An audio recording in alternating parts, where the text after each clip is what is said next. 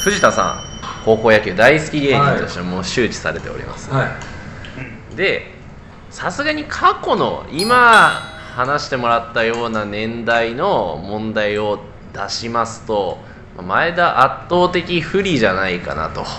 逆にその時代に生きてた現役だから有利じゃねまあまあまあでもね。割と相手チームを見てないとかいうことが起そう。そうこってるん意外とプでレイヤーの人ってそうなんですよね、今回ははいもう最新版です。うわ配信版。はい。第93回選抜高校野球大会のここに絞ってのクイズになります。選抜は。クイズの形式言います、はい。はいえー11問あります。11問。11問。ちょっと中途半端な数字なんですけど、はい。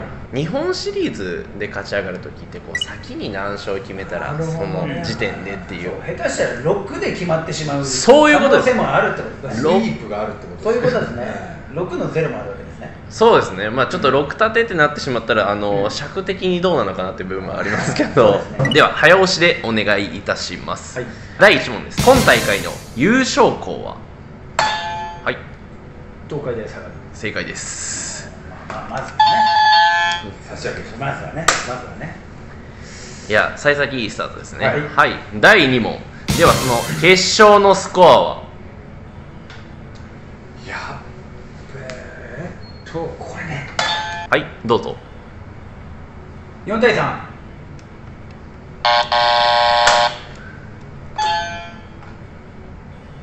9対 8?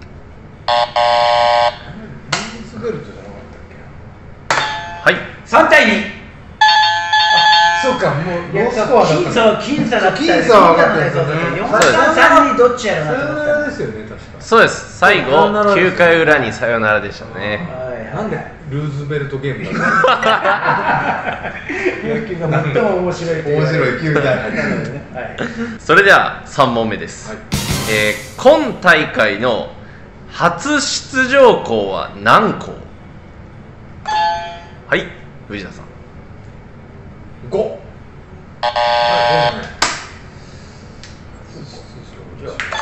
はい。あ6はい藤田さん。4 おもう数字言うだけのゲームになってますよね。えーちなみにですけど、はい。一桁ではないですええそんなにあるんだ。はい。11言いがちですよね。そうだね。交互にね。10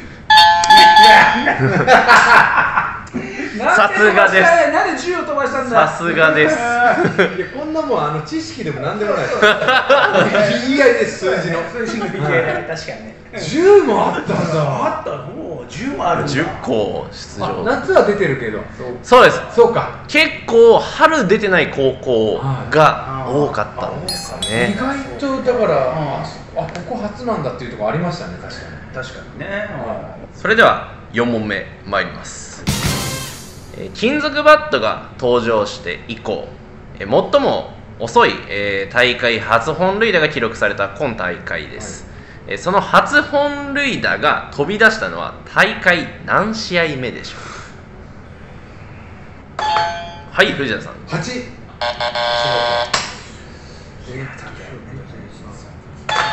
はい。9こういう数字だな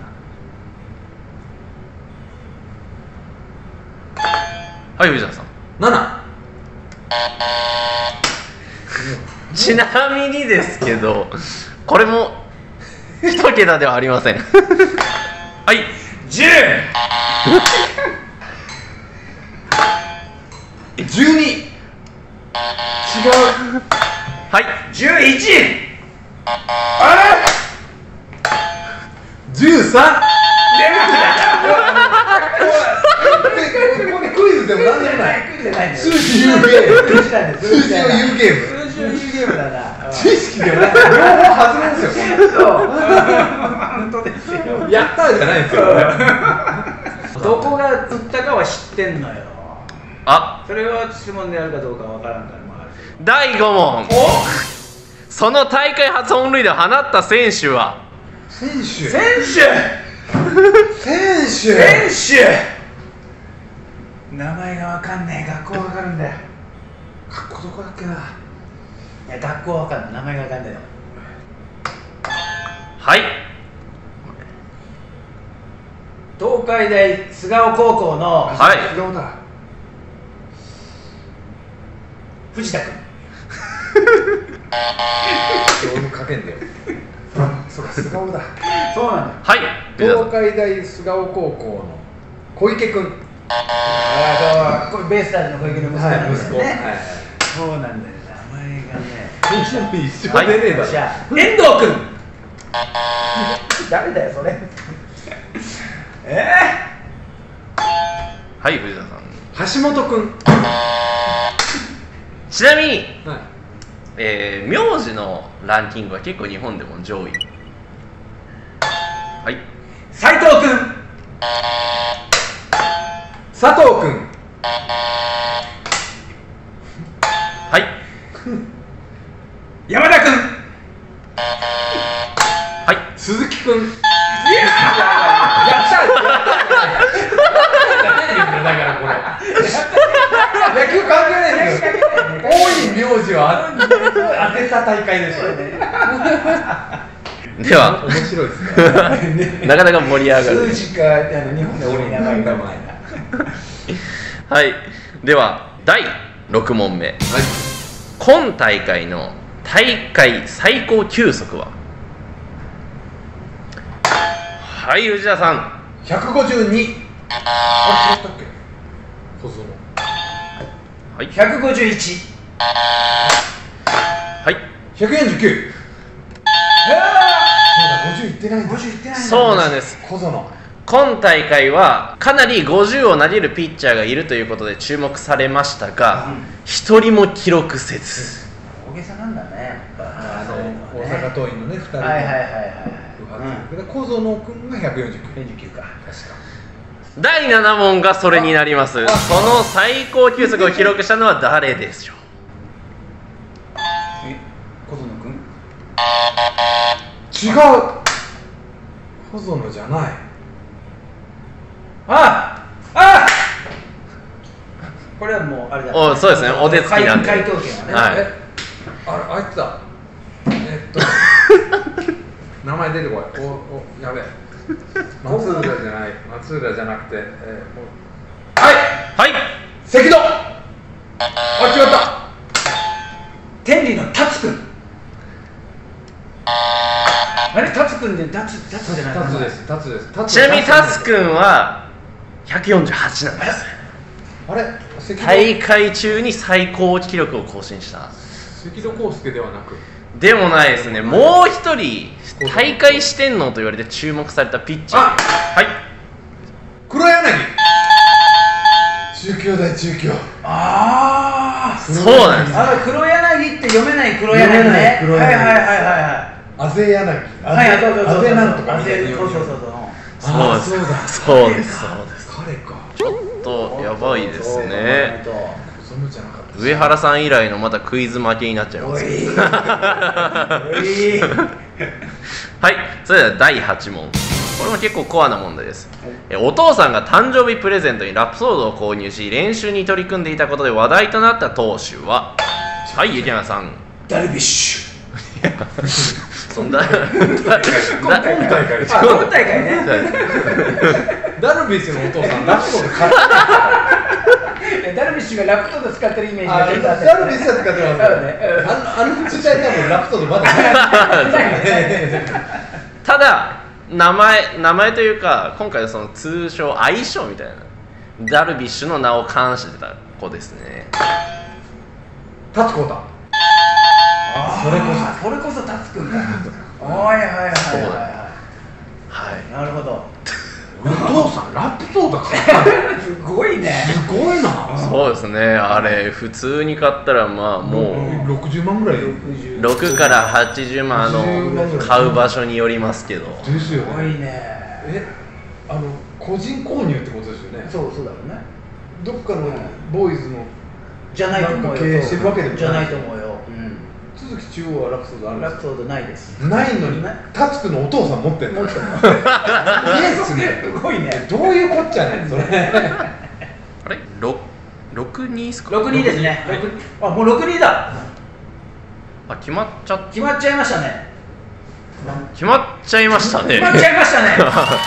そうか6人六二になっちゃってます。六二8問八問目八問目今八問目。クォーターで決ま終わった。終わっちゃってます。じゃあ残りはじゃああの一応やりましょう。やりましょう。やりましょうはい。せっかくはい。なんでじゃあせっかくなので、はもうこれ以上話されないようにしてください。なんあと3問ですね。はい。三問。はい。はいじゃあ9問目。練習中にカードゲームをやらせるというユニークな指導法いわゆるカードゲーム事件で話題となった監督は。もうすこれはね知ってるんですけども。知ってる？はい知ってます。マジで？あはい。明豊はい。はい。川崎監督。本当なのそれはマジで？初めて聞いた。あの選手が、うん。消灯時間になってもカード UNO をしてたんですね、ん。うんね。でそんなにやりたいんだったら練習持ってこいと。うん。でマウンドでやらされるというそのシュールな、まマジで？だけどなんかリクレーションとしてはいいらしいんですよ。うん。その厳しい練習の合間とかにやるのもうん。ちょっとホッとなるから、うん。これは別に悪いことじゃないって川崎監督が思って、うん。でその監督はもともと智弁和歌山の選手で、うん。で大学出てから、うん。あのローソンの店長をやってたんですよ。実家がローソンで。社会人を終えて、でその時に接客とかを学んだ時に、こう野球だけこうじゃダメだなといろいろ。うんっていう発想があってのびのびとやらせたいからカードゲームもそう取り入れた、逆にまあ罰則も含めてなんですけど、あーまあね。それが選手たちには良かった、うん。うんていうかね明豊高校の監督が川崎監督って知ってるじゃん。俺知らないの 同じ九州です。いや知い。や昔大五坊監督だったんですああそう大悟さんはい有名なね。そう。そう俺が柳ヶ浦とかとやった時は大悟さん今川崎監督川崎さんだねそうか。もう出てこなかった川崎健次郎さんでちょっとヒント出そうかなと思う。大阪桐蔭が西谷監督っていうのは知ってるけどね。もう有名ですもんね。じゃあ10問目参ります、感動すると話題になった仙台育英島貫城首相が行ったあの選手宣誓ですね。はい。の締めの一文「〇〇〇の甲子園。一頭一打に多くの思いを込めてプレーすることを誓います」の〇〇〇に入る言葉は？まるまるの甲子園ね。すごいねっていうのは覚えてる。なかなかのね長い、まあ、長文というかね、長ね。長かったよね。まるまるまるの甲子園。はい藤田さん。僕ら。あーまあでもそんなニュアンスです、ね、ニュアンスはそうニュアンスはそっち系ですね。でヒントです。時間にまつわることです。時間。今大会はうんどういう情勢の中行われたかっていうところですね。前回大会は中止。はい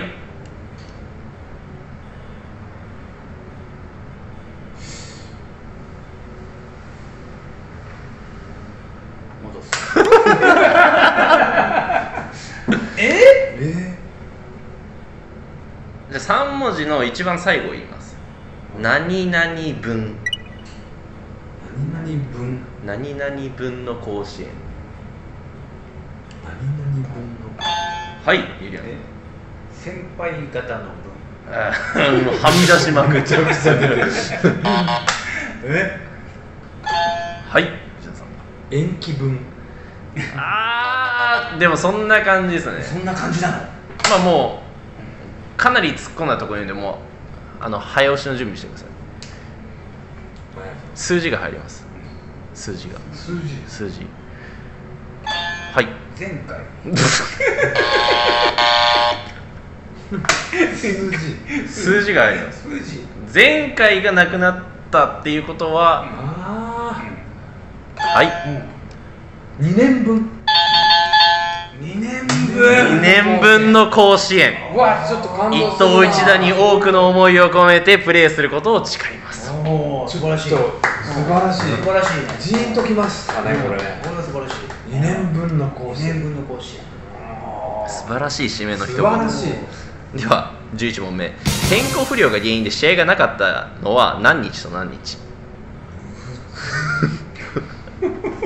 何日と何日何日と4月ってこと？何大会何日目かってこと？いやえっ、と大会大会が行われた日にちですね。3月の何日か。めっちゃむずい。やんめっちゃむず数また数字じゃん。何日と何日？何日と何日？ね三まず1個目いこう。はい。3月21と24 片方合ってます。合ってる。どっちが合ってんの？はい。月21とはい。26片方合ってます。じゃあ21ですね。数字だでかなり近くなりました。はい。21と27あ違う。21と28 なんだこれなんだよこのクズ数字当てみたいだよね全然面白いんだよいやーあーでもね。えしやったーでもないよねいや多かったですねいや楽しかったいや笑かせてくれましたね。ちょっとやらしい角度から攻めさせていただきましたはい楽しいクイズでしたね。楽しかったね。こういうクイズもあるんだね前田さんは自分の投げた日とか覚えてるんですか？えっとあ甲子園で投げた時、い、や投げた日までは覚えてないな。えっとね決勝こ夏の甲子園だけはね8月23日だったあーっていうのは覚えてる決決勝の日は、はい。うん、それは覚えてる。あれってこう、まあ、準優勝で終わった後って、うん、うんどんな感じなんですか？そのなんか、うん。すぐ帰るんですか？次の日に帰ったね。あ早っ。早かった。次の日ちょっと余韻ないそう余韻ねあんまない。で甲子園はでも行った。なんか買い物じゃないけどああのなんだっけ？あの旗みたいなの。ああペナント。ペナントをそうそう。もら買いに。そうあの買い買いに行ったああいうの、うん、と思う。早いっすね。早い。本当早かった、うん、当時なんかもユニバーサル・スタジオ・ジャパンないから。ないですよね。ないから。合間とかあるじゃないですか。こう、うん。まあ、初戦から2回戦って一番空くじゃないですか、うんうんうん。まあ、練習も毎日やるんですけど休養日とかもあるじゃないですか。そう。これはね大会2日目の第1試合だったのね、はいはい。大会2日目だから。2日目の第一試合。おおじゃあだいぶそう。もう勝ったらだいぶ空きますだいぶ空くのよ、はい。だいぶ空くってだけど1週間ぐらい空くからそうですねあのね飛行機で福岡帰ったのええー、残念。えそう帰ったの。そうだから当時はねこう練習場所の確保とか、はい。ね、なんかそういうのの決まりがなかったから帰っていいみたいな感じにどう思う？帰っていいっていうか帰ったの。帰りたくないですよね逆に、うん。